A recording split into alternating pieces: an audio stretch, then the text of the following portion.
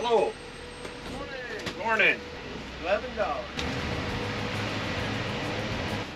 Need a receipt? I do not. All righty. Thank you very Thank much. you so much. Where you headed? We're Uh, headed today to Oklahoma City.